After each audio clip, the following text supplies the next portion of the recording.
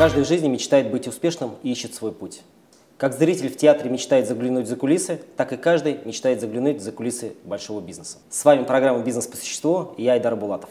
А сегодня программа особенная. Сегодня у меня в гостях тот человек, который уже а, был в этой аудитории. Это депутат Государственного совета, а, руководитель группы компании ЗАО «СН Продашин» Барышев Леонид Анатольевич. Здравствуйте. Здравствуйте. А, мы с вами уже рассмотрели много вопросов, связанных с тем, кто предприниматель, какой его путь, какие у него должны быть принципы и что он не должен делать на своем пути. Сегодня я хотел с вами рассмотреть те вопросы, которые не успел задать в прошлый раз. А, у вас сколько сейчас бизнесов? Ой, я не пересчитывал. Ну, в одной книжке прочитал, что у нас настоящий предприниматель должно быть 10. Так. Ну, где-то около этого, наверное.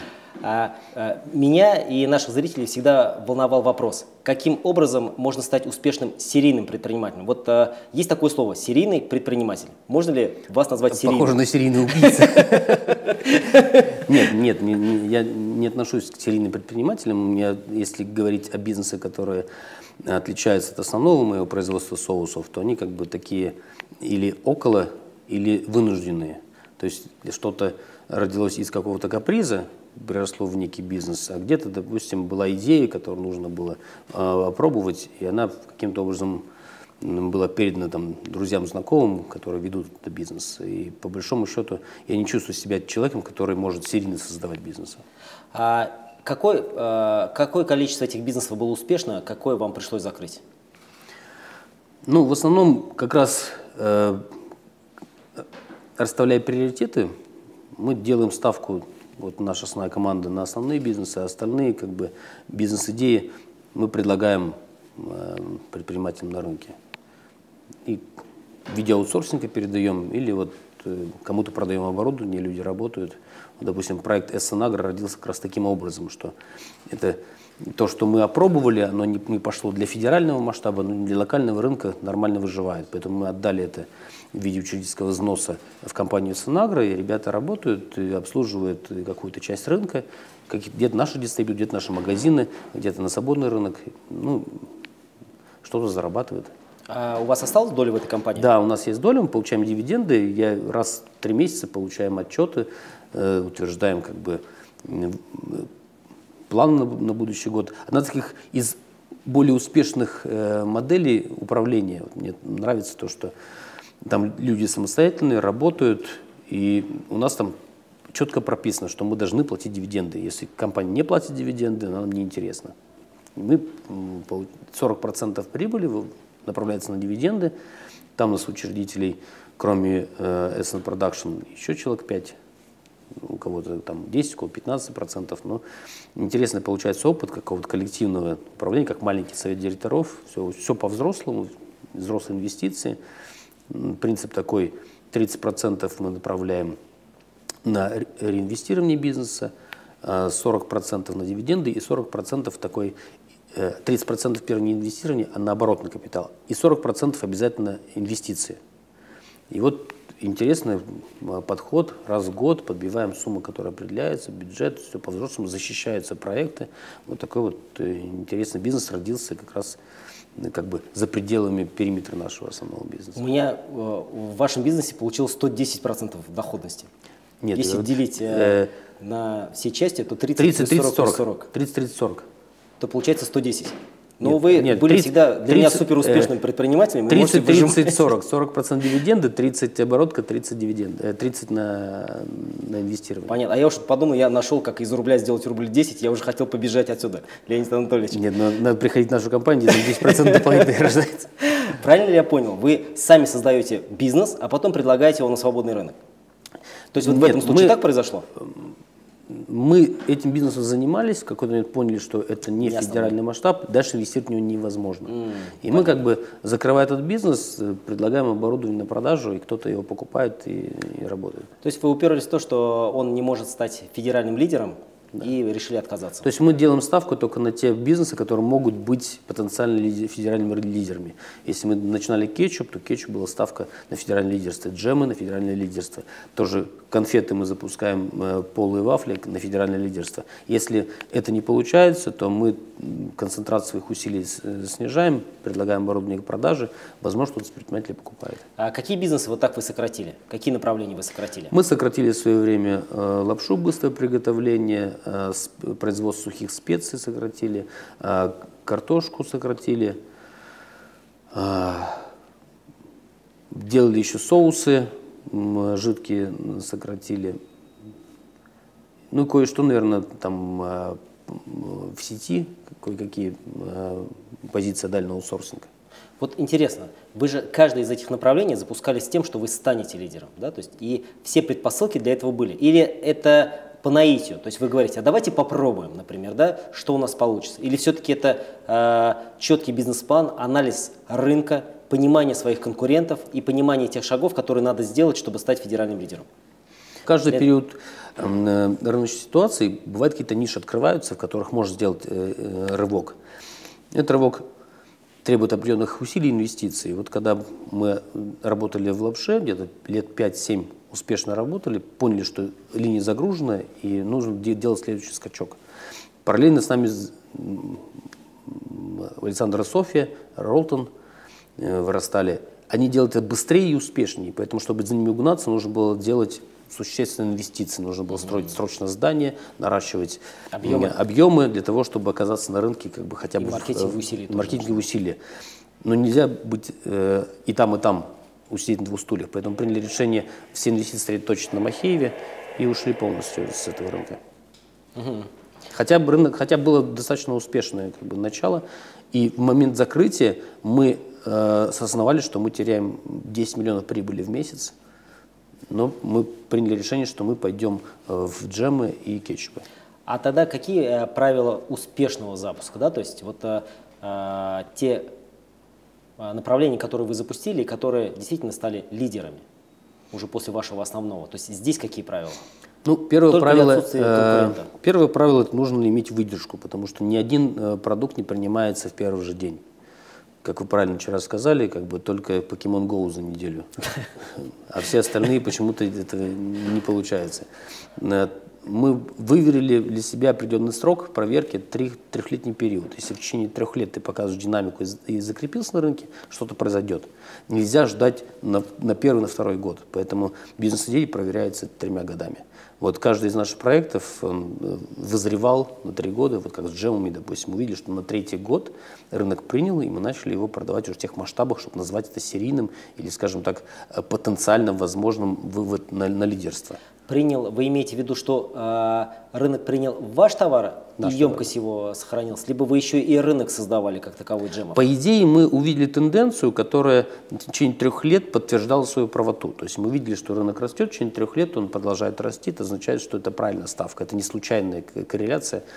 Э, Мы, мы сделали ставку, увидели, как бы, что он есть, но не знали бы емкость этого рынка. В течение трех лет мы увидели, э, что по деньгам это нас удовлетворяет, нас удовлетворяет его доходность, нас э, удовлетворяет его синергический эффект для нашей дистрибуции. Ну, то есть все равно было такое, давайте попробуем. да? Давайте есть попробуем, Вы да. емкости рынка не считали, Не считали. Конкурентов не было в целом, да, то есть серьезных вообще. То есть, Ну, именно по- поэтому то и пошли, что не было да, то серьезных есть конкурентов. э, рынок был не структурирован, по большому счету, да, то есть поэтому вы туда и Ну, в пошли. принципе, это- сейчас остаются только такие ниши, где находишь неструктурированный рынок, неконсолидированный рынок, где ищешь рынок, в котором нет определенного лидерской позиции, тот, который э, лидер, который э, убивает рынок. То есть, если мы пойдем сейчас опять вернемся к лапше, то Ролтон это тот э, монстр, который убивает как бы все конкурентов на корню. Убивает или покупает? Вот как он поступает? А, убивает тем, что ты не можешь с ними конкурировать за полку. Потому что его возможности взаимоотношений с, э, Сетями. с сетями и с, э, с продавцами гораздо выше и сильнее. Он может дать отдельные бонусы, за которые ты не сможешь эти заплатить. Но его сила марки позволяет на- содержать это, Наценку э, в наценке это держать. То, что он оплачивает сетям. Да, тоже оплачивать сетям. Когда приходишь no name, естественно, у тебя этой премии э, брендовой нет, и ты ограничен в своих средствах. Э, Два момента. Первый, э, неконсолидированный рынок. Э, второе Отсутствие- терпение. Третье. Отсутствие, первое, неконсолидированный рынок, отсутствие э, брендового лидера, который бы давит на этот Да. рынок. Второе, нужно терпение. Терпение три И года. в-третьих, естественно, сама по себе бизнес должна быть прибыльная. Модель должна быть Модель сразу. прибыльная сразу. Потому Какой что рентабельность вы закладываете маржинальную, чтобы в этот бизнес идти? на бумаге должно быть э, э, выше 50%. Маржинальность. Маржинальность, да, выше 50%. Потому что когда на бумаге 50, на, на деле 10. Когда ты посчитал, у тебя 25%, м, даже не начинай. Потому что ты что-то забыл точно. Сто процентов э, э, согласен. А какие, э, помимо наличия крупного оператора на этом рынке, какие еще причины могут быть того, что этот бизнес не пойдет? Вот были ли другие причины, что вы закрывали? Основная ошибка людей, которые начинают этот бизнес, не- они не совсем понимают вообще э, структуру этого рынка. Знаете, как бы если ты никогда не работал в общепите, не, не лезь, пожалуйста, как бы в общепит. Если ты никогда не работал в торговле, то есть не, не лезь в торговлю. То есть много э, причин, которые отсекаются по причине того, что ты не, не можешь быстро овладеть навыками данного рынка или понять его. У вас был такой пример в вашем, на вашем опыте? Да, мы начинали, э, допустим, работали когда с хорикой, мы запускали продукты для хорики, но совершенно не понимали саму структуру продаж в этой хорике. Мы думали, что наша дистрибьюция способна обслуживать также и хорику. И в какой-то момент мы сообразили, что наша неудача кроется не в том, что у нас плохой продукт или не- неправильно построенная э, бизнес-модель. Мы увидели, что сама по себе компетенция в продажах наша недостаточная в хорике. Да. То есть мы не можем обслуживать рестораны, хотя мы вроде родились соусами, чтобы прийти в ресторан. Но этой компетенции у нас нет. И мы этот рынок сдали. А, развитие, а, э, становление федерального лидера а, в отдельных категориях, а, это у вас органический рост или вы используете и покупку конкурентов? Вообще покупка конкурентов – это такой миф о том, что ты, купив конкурента, получаешь его рынок. На самом деле никогда не получается приобретение конкурента вместе с его с рынком, потому что рынок, который всю жизнь боролся против тебя, за тебя работать не будет. Вот мы приобрели э, компанию «Обжорка». До того, как мы ее приобрели, они делали порядка 700-800 тонн продукта. Когда она интегрировалась в нашу, это стало 300. Годовой? Нет, Месячный? 300 Месячный. тонн в месяц, да. Потому что А производитель это чего? Что он производит? Ну, тоже майонезы производил, соусы. Э, Каннибализация внутри э, брендовых категорий, она очень беспощадная с точки зрения, когда два конкурирующих э, продукта объединяются в одну дистрибьюцию. Поэтому, м, если говорить о покупке конкурентов, это не самое лучшее э, Вы приобретение. потеряли больше 50% их объема Да. после приобретения. Но Хотя я вы вот бренд знаю- оставили, да? Вы я знаю оставили? а? Вы их бренд оставили? или Да, нет? да, мы торгуем локально этим брендом, м, и не очень довольны э, этой сделкой M&A. А, Хотя вот я знаю примеры, Но когда продавцы люди, довольны, наверное, все-таки, да? То есть вы Продавцы? не очень довольны? Они, Нет. Они тоже недовольны. если были бы они счастливы, они, наверное, больше его продавали бы. Что мы получили урок из этого, что не надо покупать своего конкурента, нужно покупать те товары, которые, те, те бренды, которые синергичны э, в- с твоим брендом. Вот, допустим, э, пример ребят, которые Яшкина, они купили, допустим, не, не производители еще одного кондитерской продукции, они купили производителя семечек, бабкины семечки. Тем самым они улучшили свою позицию на рынке. Они купили кириешки, и тем самым они получили еще одного лидера еще в новой категории. И они владеют брендами, лидерами в трех уже категориях уже. А может сейчас уже четырех, я не совсем эм, посвящен в их бизнес-модель. Но мне понравился сам подход M&A в том, что они не подключали конкурентов, они создавали позицию на рынке вообще. То есть они растут э, по другому принципу. Но вот вы вначале сами сказали, что э, заниматься тем, в чем ты не профессионал, не стоит. Это не противоречие вот сейчас э, вот этого, э, этой теории тому, что вы вначале сказали. Они покупают все-таки э, продукты не в той отрасли, то есть не в той специализации, в которой они работают.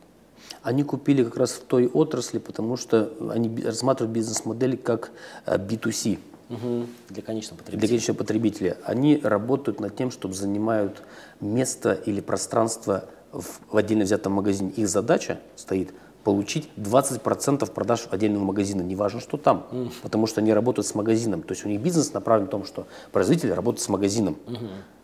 И то есть они просто увеличивают количество увеличивают свое, SKU, да? Да, на- SKU в магазине, соответственно, их логистика начинает быть конкурентоспособна. Да. И в-третьих, они способны уже управлять этим магазином с точки зрения дебиторки, с точки зрения выкладки, с точки зрения э, взаимоотношений с, с покупателем. А, а если говорить о несвязанных да, отраслях, вот а, у вас же есть успешный опыт. Вы э, после основного производства пошли в ритейл. Это же совершенно не связанные бизнесы. И он у вас э, очень успешный. То есть э, при наличии уже сильных федеральных игроков, в том числе и здесь у нас в Татарстане, вы смогли занять э, э, серьезное место. Ну, давайте мы поговорим об этом бизнесе не как ритейл, это, это два бизнеса в одном. Да. Это коммерческая недвижимость, Да. потому как я как инвестор строю и сдаю в аренду Самому же себе. самому часть. же себе, примерно с таким же успехом сдавать кому угодно, или магниту, или пятерочке. В этом плане как бы это свободный рынок. Да. И где-то, допустим, может выгоднее сдать и конкурентам, Чем самому. чем самому себе. Оперировать. Мгм. А операционный бизнес, который занимается ритейлом, это уже отдельная бизнес-модель, они не, взаимосвязаны. То есть вы два бизнеса запустили сразу? Да, это два получается? бизнеса. Причем приоритетным является э, Первый. первый для меня как, ин- как инвестора, потому что это родилось как инвестиция в недвижимость. А потом в отсутствие федеральных игроков мы создали своего аренда- э, арендатора. Понятно. То есть вы построили, никому сдать не смогли и начали вынуждены Мы понимали, сами- что тот формат, который мы строим, еще нет оператора. Гипермаркет тогда не было. И мы думали, что э, в этом сегменте нужно или ждать рынок, или создавать его самим. И мы пошли, создавали са- сами рынок, и получилось удачно, потому что в тот момент э, рынок гипермаркетов пустой, и мы успели до прихода федеральных игроков за- заявить о себе и занять место на рынке.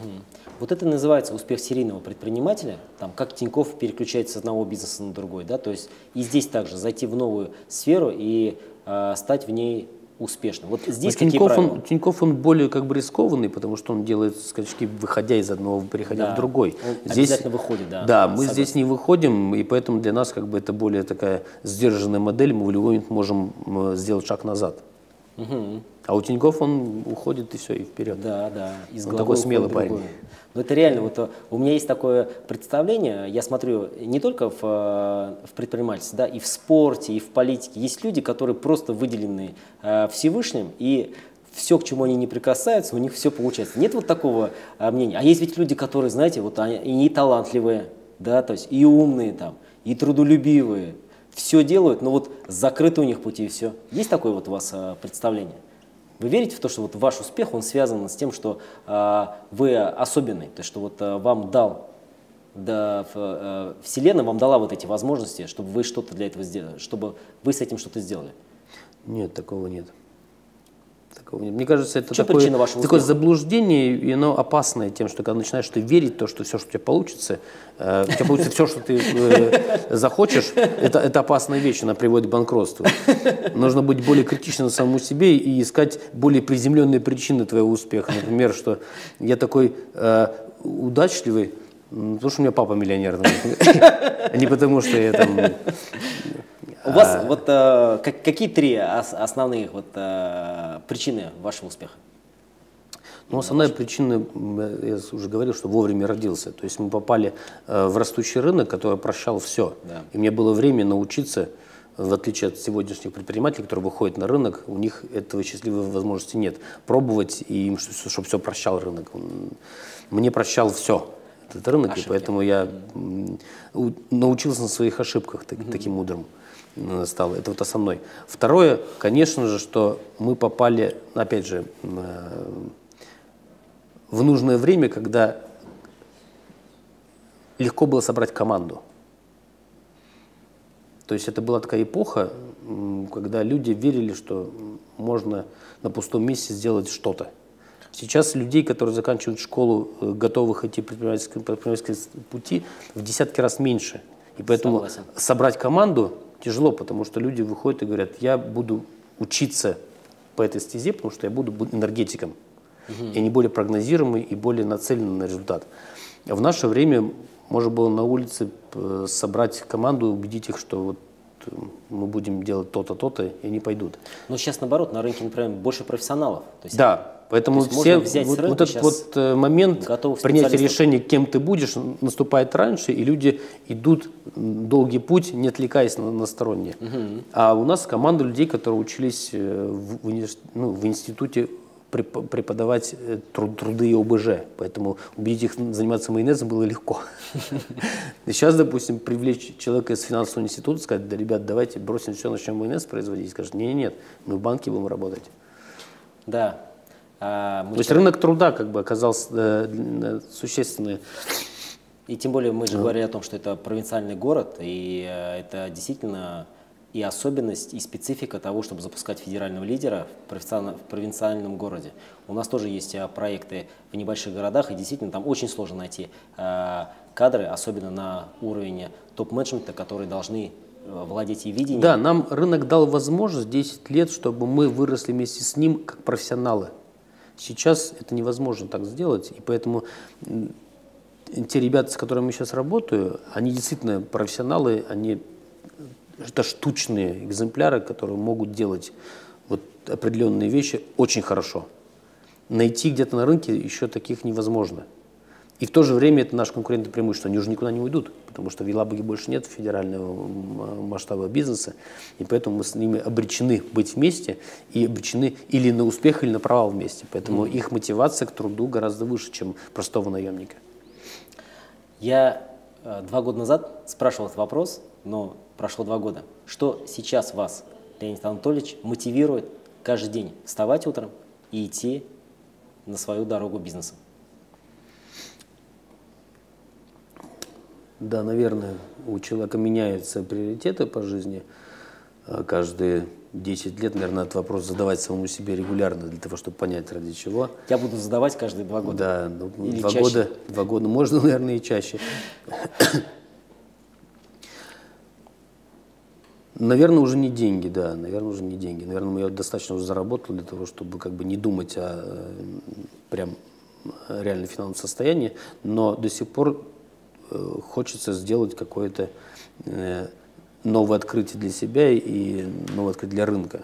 Потому как мы все равно меряемся своими интеллектуальными возможностями. Всегда хочется доказывать, что ты умнее, чем э, твой сосед, но у меня, в отличие от э, других людей, есть возможность, инструмент. Это уже как бы те финансы, которыми я обладаю, и та команда, которая есть. Вы видите сейчас, в чем вы это сделаете? Видите эту цель уже? Или ищете?